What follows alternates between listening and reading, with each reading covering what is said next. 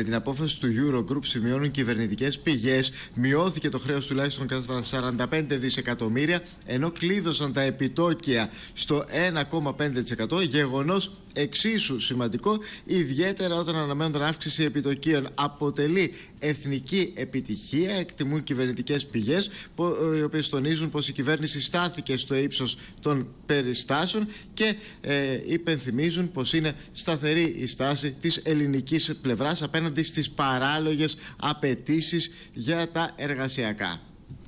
Σε ευχαριστώ. Μας μετέφερε